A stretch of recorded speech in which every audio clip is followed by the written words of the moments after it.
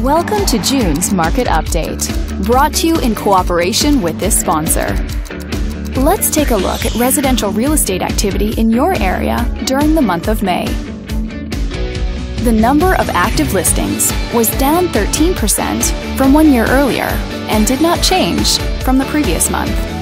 This smaller inventory means that buyers who waited to buy may have had a smaller selection to choose from.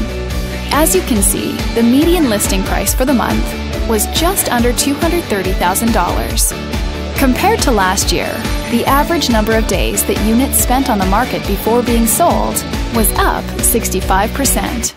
This higher number of days may signal a slowdown in the local inventory turnover rate.